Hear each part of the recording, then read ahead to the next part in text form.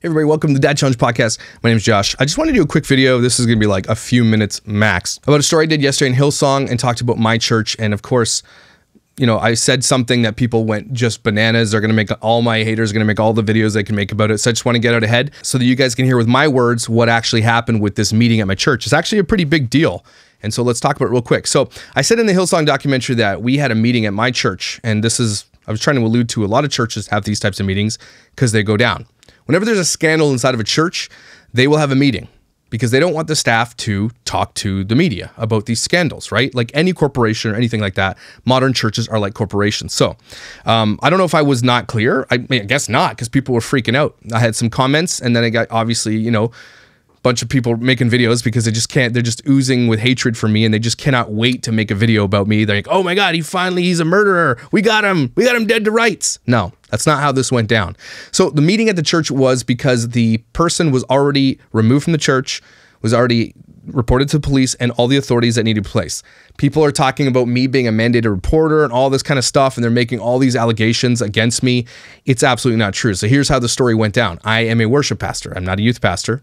This was not my department. I had nothing. I had no idea about this until the meeting. So the meeting comes comes down. They say, "Hey, this guy did this thing. We I don't even to this day know what it was."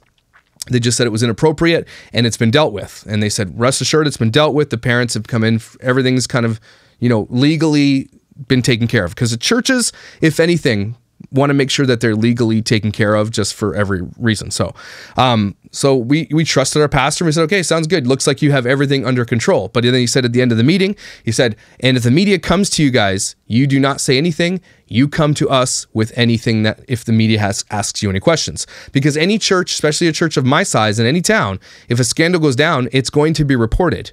And to this day, it wasn't reported, likely because it was solved. I, I was not aware of an SA and didn't report or anything like that. As far as I'm aware, I don't know what happened after the, it got reported.